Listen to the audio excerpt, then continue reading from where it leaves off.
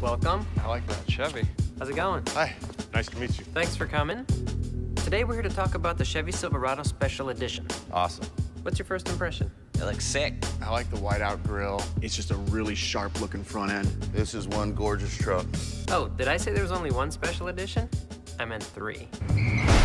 this is the Silverado Special Ops and the Realtree Edition. I love that. I love all three trucks. Wait, did I say there's only three special editions? There's actually five. Holy mackerel. Wow. This is the Midnight, and that's the Rally Edition. That's really nice. This is an exceptional truck. This is awesome. I love how each one has its own personality. So many choices. Which one's your favorite? Come home with me. Introducing the Chevy Silverado Special Editions. How can you choose?